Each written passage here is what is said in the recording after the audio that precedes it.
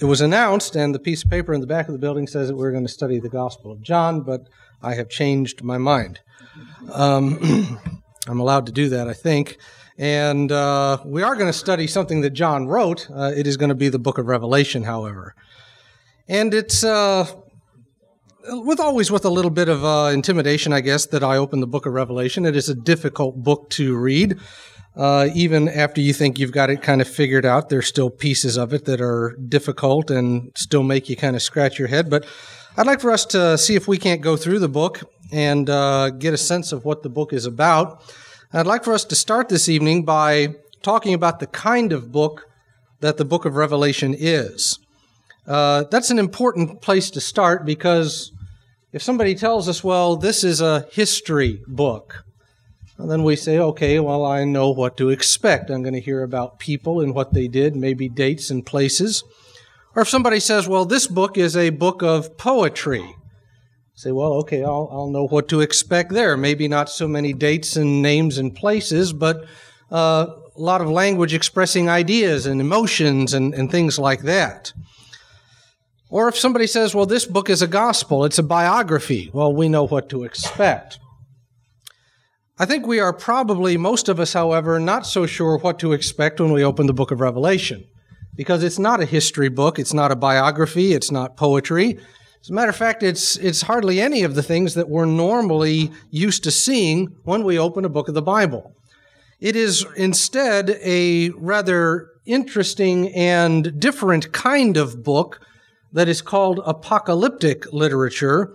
And I'd like for us to think this evening about what apocalyptic literature is like so that when we uh, start to look at the book of Revelation, we have some sense of just what it is that we are looking at. Now, uh, the plan next week is to talk about the date of the book and uh, some other internal matters.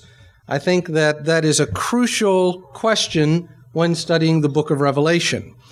And it's crucial because of uh, a very simple point, and that is that the book is about something.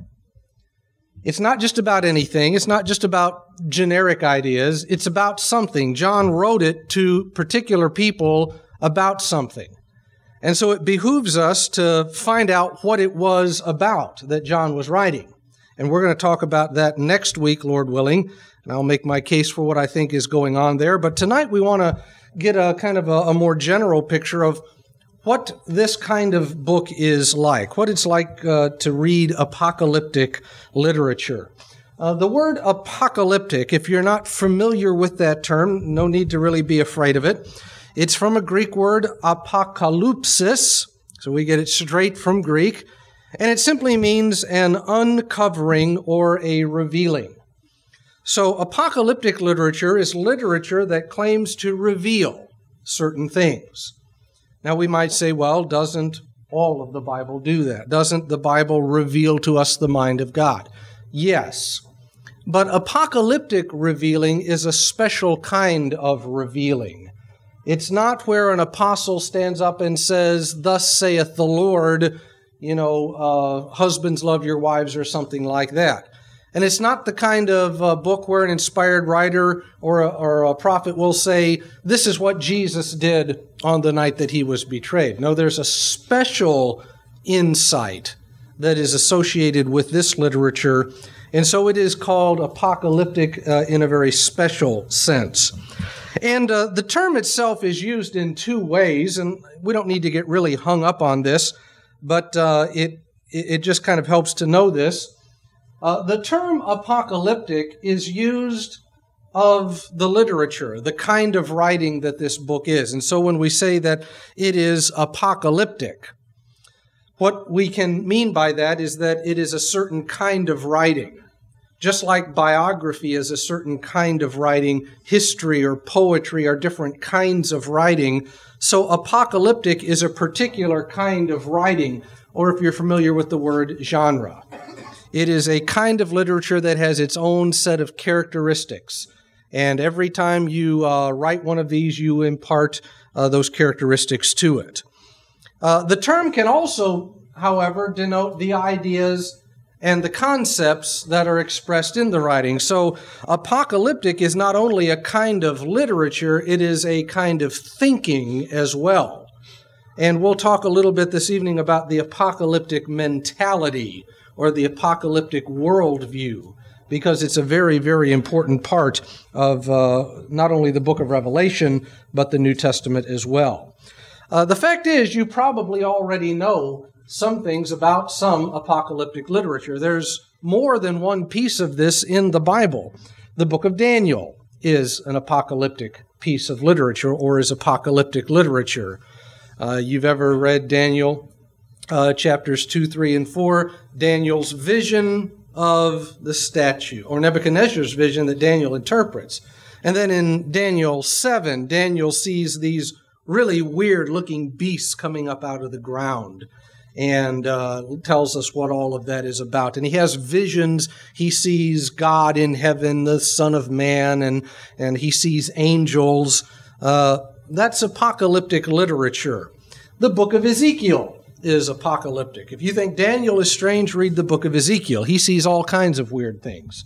And uh, Matthew 24 is an example in the New Testament where Jesus talks about wars, rumors of wars, signs in the heavens, the stars falling out of the sky, the sun being darkened, the moon being turned into blood.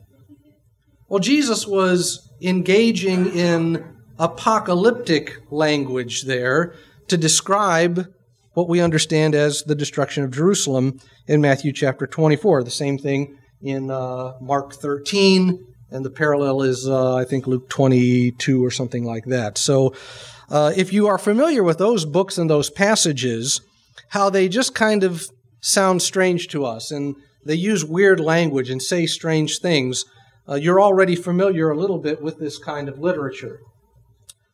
The interesting thing is, though, there's a lot more of this stuff outside of the Bible among the Jews. And you may not have ever heard of any of these books, and that's okay. You don't really need to know anything about them other than to know that there's a bunch of them. Uh, the book of Enoch, the book of the Assumption of Moses, the Apocalypse of Baruch, the book of Second Esdras. Yeah, there is a second as opposed to a first and third and fourth uh, the testaments of the 12 patriarchs, the Sibylline oracles, the book of Jubilees, and finally a Christian document written in the second century called the Shepherd of Hermas. Now, again, you may not have ever heard of any of those, and that's okay. You don't need to know about any of these. But the point is that the Jews were reading this stuff all the time. Uh, these books were written in the period between the Old and New Testaments, in that intertestamental period and it is a very popular and a very widespread kind of literature among Jews, and even the Christians as well partake of it in the Shepherd of Hermas. And so it's strange to us. And uh, I don't know really of anything, I don't read a whole lot of modern literature myself. I'm not up on, you know, famous books and things like that, but uh, I was trying to think of an example of a modern apocalyptic text um, I've been told that that book by uh, Salman Rushdie, what was that book that got him his death threat? Satanic Verses. That's kind of an apocalyptic book. I didn't read the Satanic Verses, but I've been told it's kind of on that order. Uh, it's not as prevalent, perhaps, as in our society as it was in ancient times, but it was prevalent to them. They were much more familiar with it.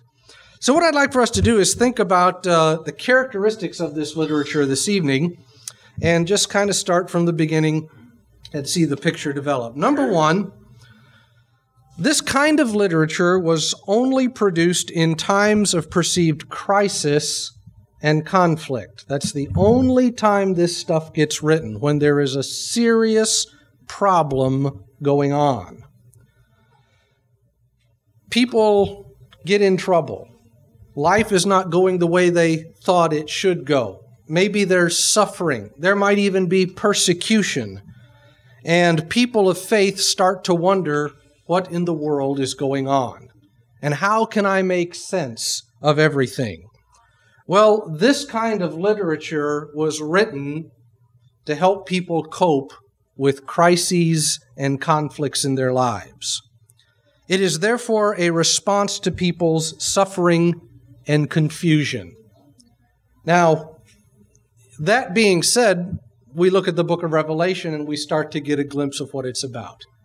that it was written to people who were suffering and confused, who didn't know what to make of what was going on around them, who all of a sudden looked at the world and it didn't make any sense to them anymore. And so John sits down to say, Let me explain this to you. Let me tell you how things are so that you understand what's going on. And more than any other place in the Bible, this kind of literature talks about suffering. There's a lot about suffering in apocalyptic literature because that's what was on people's mind in times of conflict and crisis. So the question that we want to ask is what is the crisis that the original readers of the book of Revelation were facing? And I want you to think about that one because we're going to provide an answer for that next week. But I want you to think about what might the crisis, what was the conflict, the problem that was going on that John had to write this book to answer. Be, thinking about that, if you will, uh, over the next few days. But there's more to it than that. Secondly, apocalyptic literature presents information in the form of a story. Now, you know, you can write an essay on the problem of suffering, and, you know, you might say, well, I'm just going to write this and maybe publish it in a book or in a magazine or something like that so that people can pick it up and read it. But that's not what apocalyptic literature does. It doesn't just say, now let's think about three things about the problem of suffering, or let's consider four facets or three answers. No, apocalyptic literature says, let's think of this in terms of a story. Let's explain this as a narrative. And this is the very point, I think, where some people kind of take the wrong step when they start to read the book of Revelation.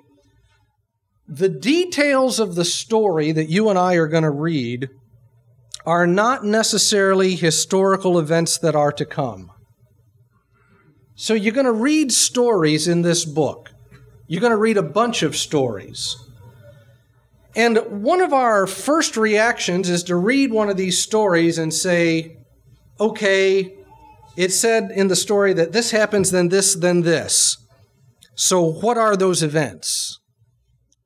Well, that's not what the story is trying to tell us. It's not necessarily about this thing's going to happen, then this, and then this. The story is not trying to give us a chronological view of the future or a calendar.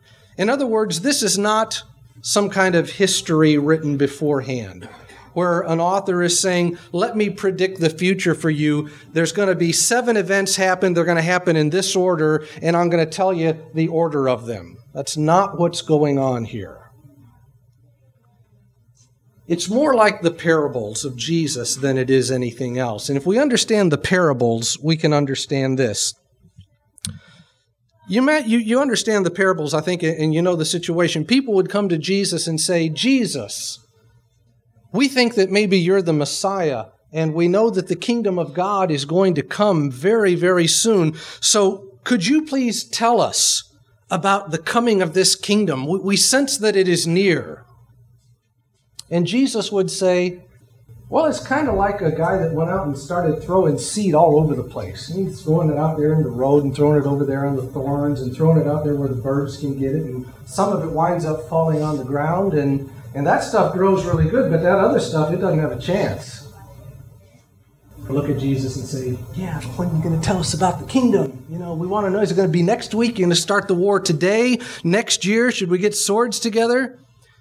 And Jesus was telling them the story not to tell them when or the sequence of events that would bring it about. The point of Jesus' stories was to tell them this is what the kingdom is like. And if you walked away from Jesus saying, Yeah, but when is it going to happen? then you miss the point. And the book of Revelation is like that. It's not to tell the early Christians or us when things were going to happen. It's designed to tell us the nature of what God was going to do and the outcome. Now, we like to know when, don't we? We get done reading the book of Revelation, we say, okay, when did this happen? And I think if John could be here, he'd say, don't worry about when. It doesn't matter when. if it happens now or 20 years from now or 100 years from now, God's going to take care of that. What God wants you to know is the nature of this thing. He wants you to know the outcome. He wants you to understand the big picture here. And that's what we have to know.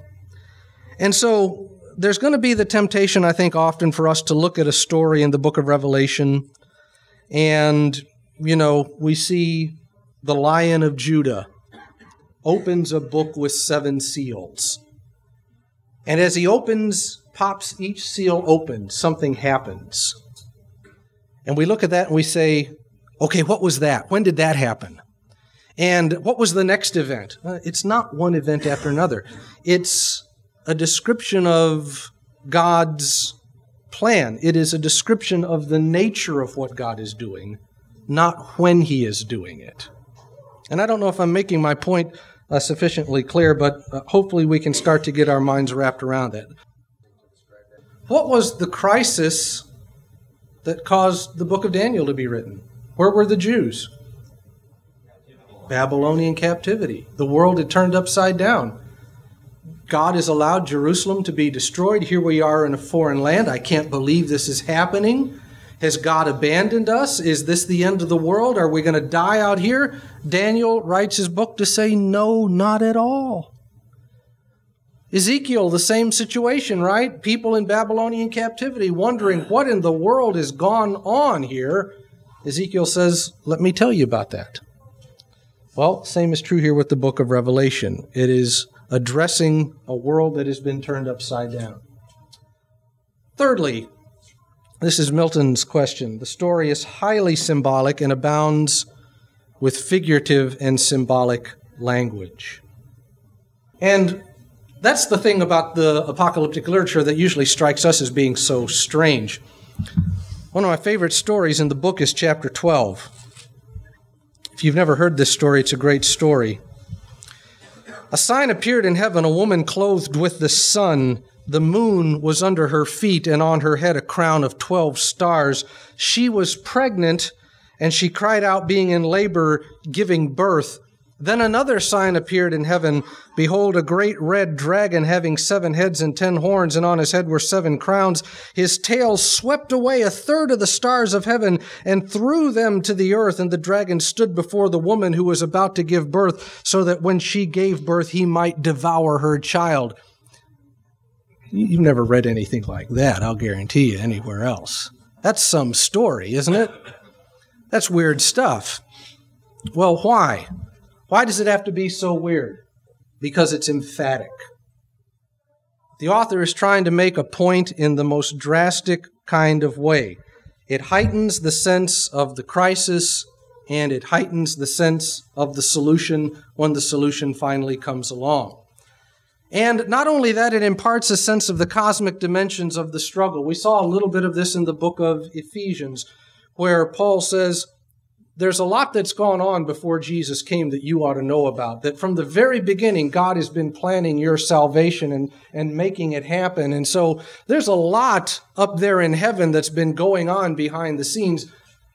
The book of Revelation is trying to show us that as well. That there's things going on in the heavenly realm that uh, are much bigger than we can possibly understand. That this struggle is not just uh, on earth, but is even greater.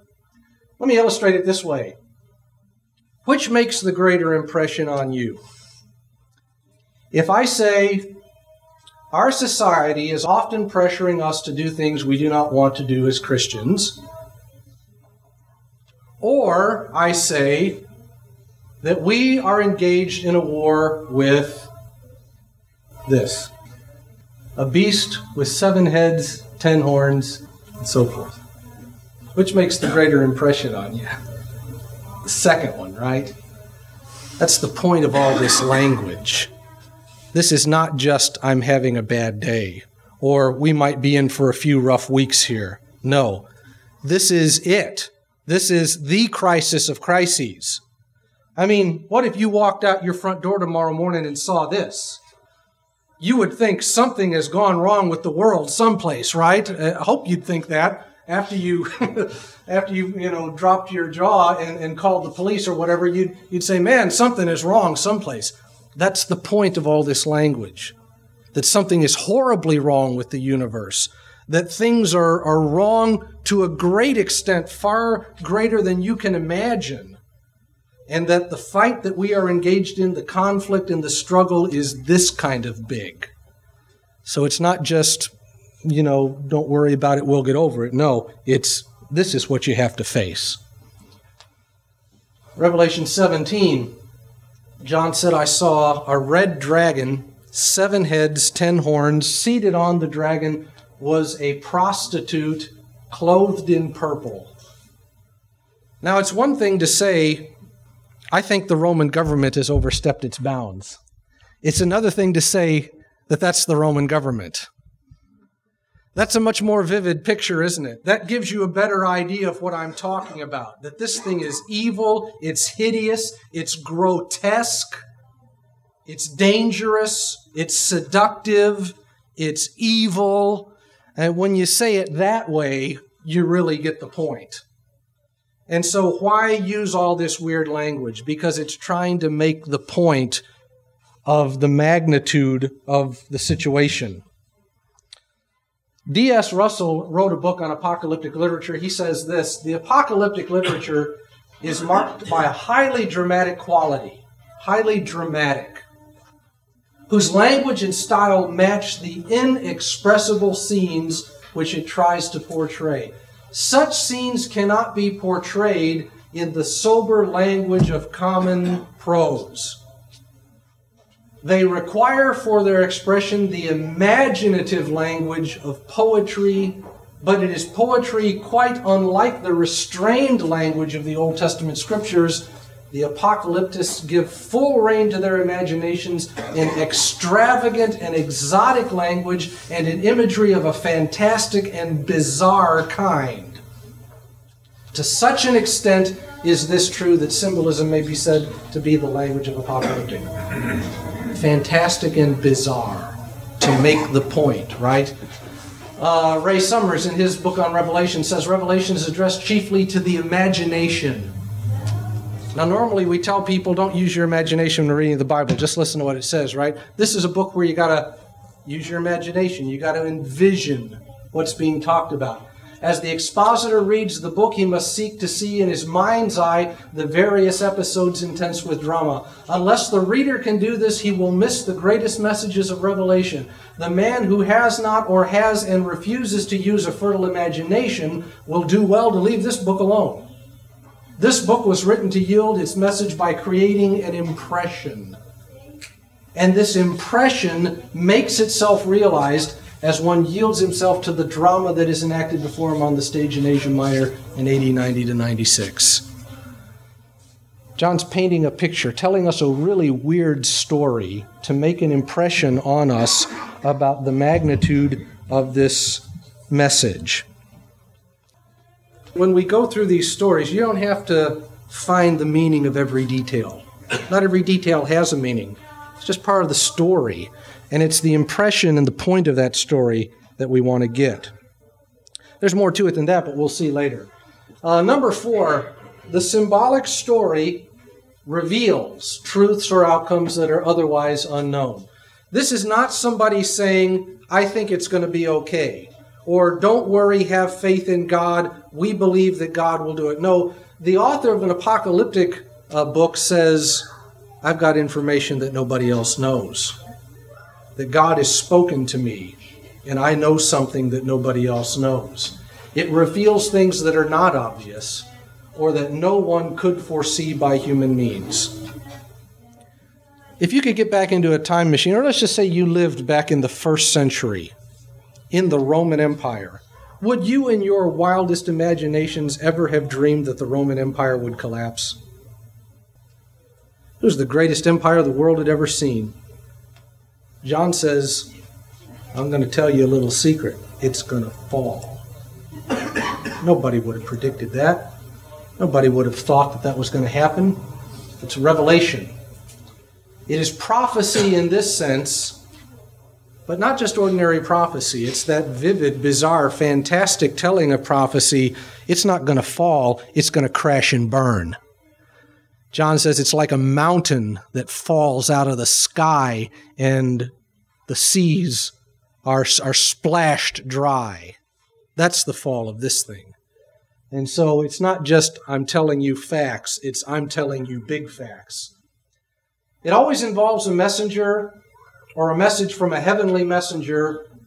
It also comes in visions or dreams, or maybe all of them. We'll see all of them in the book of Revelation. John will have visions, he will see things, and angels will tell him things. And this kind of gets to Milton's question as well.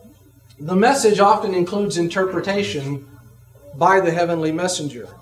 There are several places in the book where John will say, I saw this. And then an angel will come up to him and say, Do you know what that means?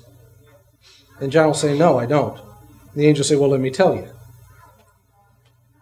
Sometimes you'll hear the idea that the symbolic language of the book of Revelation was meant to hide its message from the enemies.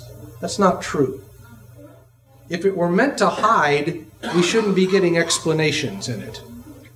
But we do. The angels tell us what things mean from time to time. And there are some symbols that are so clear that you don't need help in understanding them. They, they interpret themselves. It's not designed to hide the message from the enemy. Uh, the, the symbolic language, as we suggested, has a different function. That doesn't mean it's always easy. If you've ever read the book of Ezekiel, whenever Ezekiel asks for help in understanding something, the explanation is way harder than the symbol ever was. There's a little bit of that in the book of Revelation as well. John says, I saw this dragon with ten horns. What are the ten horns? Oh boy, you wish you hadn't asked that one. They are ten kings. Seven who have come already, one that is, and two more that are yet to come. What is that talking about? Who knows? But, uh, you know, there's interpretation that goes along with it. But the point is that nobody would have figured this out on their own. Fifthly, the revelation that comes from heaven presents a view of the heavenly realm. It's not about just the earth. And again, it's not history. The author's not saying, well, this is going to happen, then this and this. He says, let's pull back the curtain here, folks let's uh, stick our head inside the door, as it were, and see the big picture the realities of heaven and what's going on where you can't see it. And so it is this big picture view that we saw a little bit of in the book of Ephesians, chapters 1, 2, and 3, but here it's even bigger. It is a view behind the scenes, as it were, to explain to you why things look the way they are. Kind of like a car. You know, you imagine somebody that had never seen a car before in their life. They would think you just get in this thing and it just moves. And it goes places. Well, no, you pop the hood and you say, well, there's actually like a mechanical thing in here that makes it move, and you have to do this. And, and when you see what's under the hood, then you understand why it does what it does. That's what John is going to do. He's going to let us see under the hood, as it were. Why is the world the way it is? John says, I'll explain it to you. I'll show you. And not only that, it's not just about the way things are, but it is meant to provide a perspective on the present sufferings, the present crisis, and the conflict. So, like we said, it's the author's way of saying, let me help explain this to you. You think that that maybe God doesn't care about you because you're suffering and, and it just goes on and on and on, and there doesn't seem to be any relief in sight. Uh, your enemies are prospering, getting stronger every day, and you wonder, how can this be the will of God? John says, I'm going to explain all of that to you. I'm going to let you see something that you normally don't get to see. And once you've seen that, then you'll understand why it is the way it is down here and it'll seem a lot better to you. You won't be so confused anymore. And that doesn't mean it answers every question, because there are still things that, you know, after we've read the book of Revelation, that we might say, Boy, I wish I knew the answer to this. But it gives us a different perspective on the difficulties that Christians face, and it helps them. It helps the readers deal with their earthly situation and helps them to endure it. Because ultimately, this is not just about what's going on in the present, The big bang of the book and of apocalyptic literature is that there is a judgment coming. And people who are suffering, you know, the big question is, why am I suffering? And then the second question is, how long do I have to suffer? Go through this. Well, John's going to peel back the curtain and say, this is why you're suffering. And you hear that second question at the very beginning of the book. In the throne scene in chapter 5, the souls under the altar cry out, How long, O Lord? And the answer comes in the book. God says, I'm going to take care of your enemy. I'm going to fix them. And I'm not just going to beat them down to where they're weaker than you. I'm going to destroy them. They're not going to be around anymore when I get done with them, God says. I'm going to beat them down so bad they'll never come back.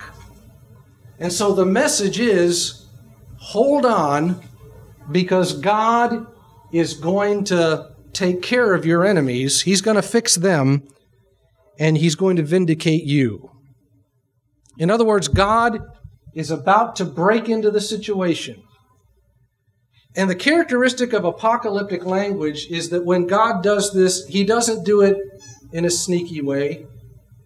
He doesn't do it in such a way that you never would have guessed it had gone on. You know about it. That God is about to do something drastic and it's going to be violent. There's some pretty bloody chapters in the book of Revelation.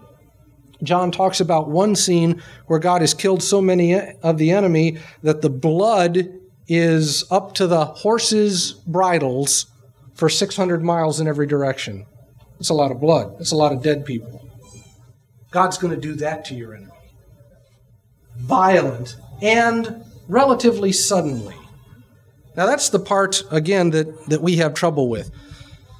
Behold, I come quickly, book of Revelation says. And we want to say, yeah, but when, when, when? But God's point is, oh, it's going to happen. Don't worry about when. It's going to happen like lightning, and it might not be tomorrow, it might not be next month, but man, it is coming. And it's not going to be the end of time either. It's going to happen. And so watch out for what God is going to do. It is a coming time of God setting things right, and it's going to be public.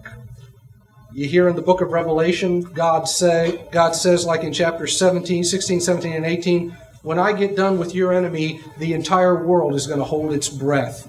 They're not going to believe what I've done to these people. You hear that kind of thing in Jeremiah, don't you? Remember what Jeremiah said as the word of the Lord? Behold, I am going to do to this people such that will make their ears tingle whenever they hear it. You know, I'm going to beat them so bad that, that you won't believe it. That's the apocalyptic mentality as well. That God's not just going to fix it, He's going to really fix it.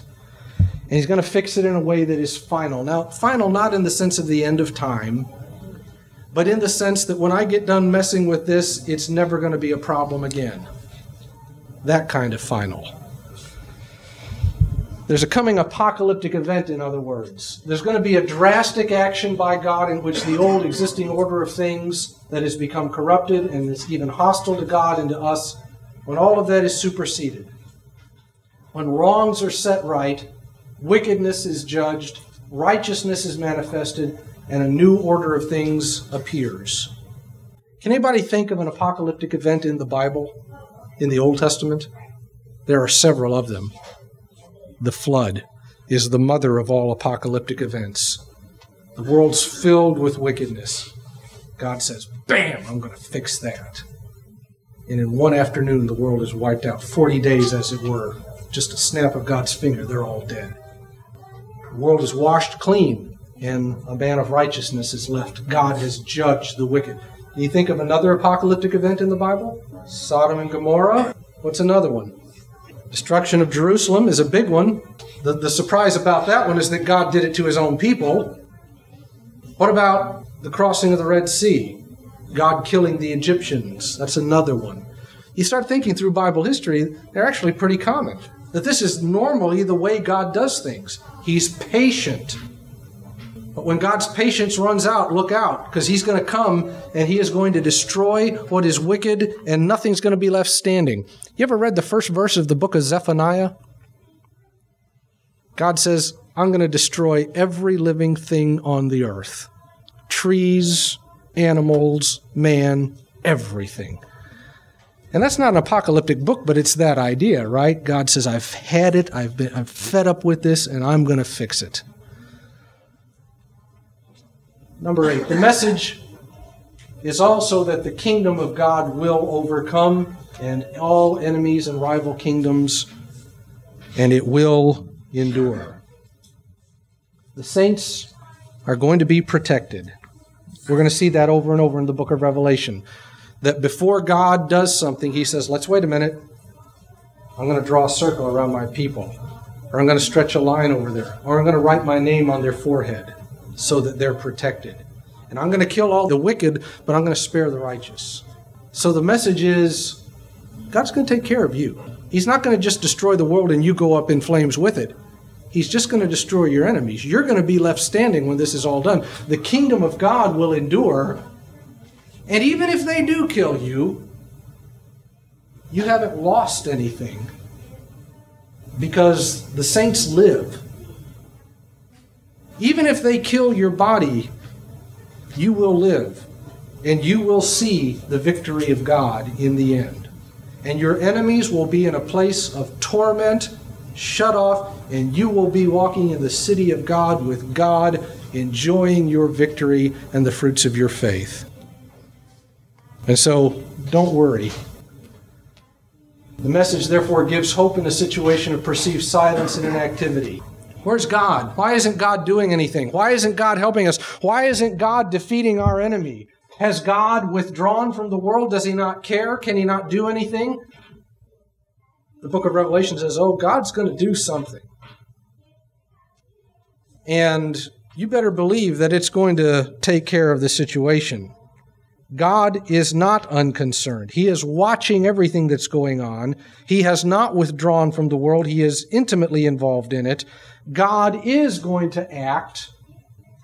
And the message is not directed toward the entire world, it's directed toward the insiders. The message is you be ready for it. It's going to take the world by surprise, but don't let it take you by surprise. Isn't that what Jesus said about the destruction of Jerusalem in Matthew 24? I'm telling you these things, these signs beforehand, so that when it comes, you know to flee the city. They're not going to know, but you will. You can get out, but they'll die. Finally, we're running out of time this evening. The message includes moral exhortation and warning to God's people. God's going to come and destroy the wicked.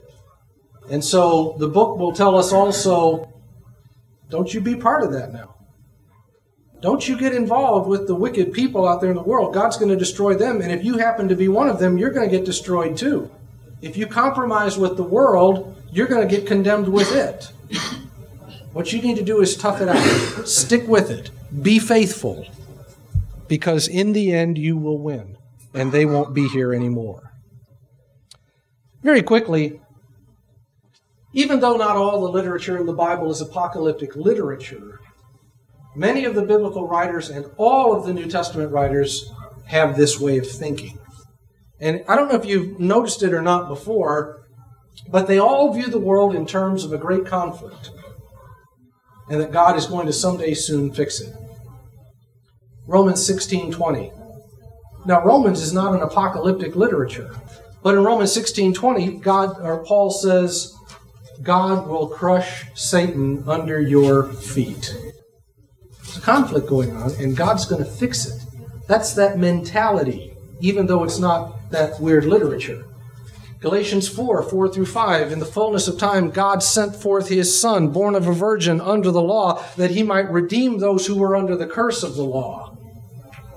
There was a problem, and boom, God took care of it. Ephesians 2 5 through 6. Even though we were dead in our sins and trespasses, He has made us alive together in Christ. He has raised us up to seat uh, us with Him in the heavenly places. Bam! God has intervened, fixed the situation. Romans 6 or Ephesians 6:12 Our warfare is not against flesh and blood, but against principalities, powers, of uh, spiritual forces of wickedness in the heavenly places. 1 Corinthians 10, Paul's talking about the Israelites who died in the wilderness. With most of them, God was displeased and their dead bodies fell in the wilderness. Psalm 95, that's quoted in Hebrews 3 and verse 4 Today, if you will hear his voice, do not harden your heart For God swore in his wrath, They shall not enter my wrath. God got tired of it. He judged them, and he had a new people come along that would go into the land. That's apocalyptic. And so hopefully you can get a sense this evening of what kind of book this is and what it's going to try to say to us.